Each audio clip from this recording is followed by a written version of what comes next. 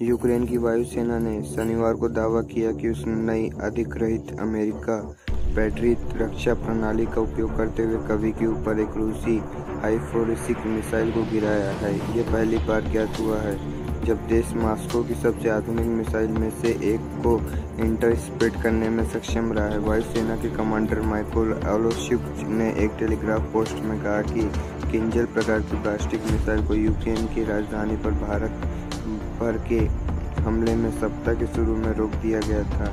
यही पहली बार भी था जब यूक्रेन को पैट्रियट रक्षा प्रणाली का उपयोग करने के लिए जाना जाता था। ओल सूचक ने लिखा हाँ हमने आदित्य किंजल को मार गिराया।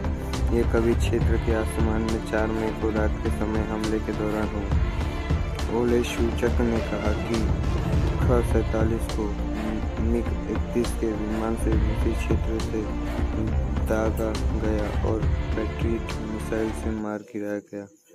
किंचल न्यूनतम और सबसे उन्नत रूसी हथियार में से एक है। अब चलते हैं दूसरी खबर पे।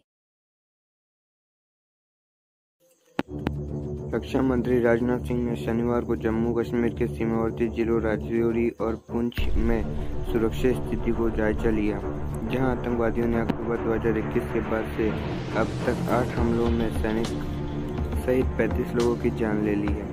रक्षा मंत्री की राजौरी यात्रा आ रही है।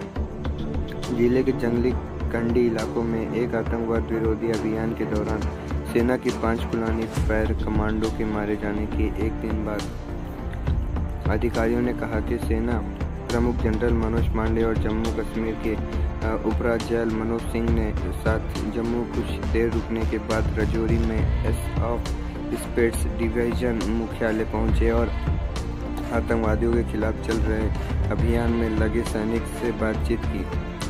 शुक्रवार को कंडी इलाकों में चलाए गए तलाशी अभियान ऑपरेशन के दौरान सेना के पाँच जवान शहीद हो गए।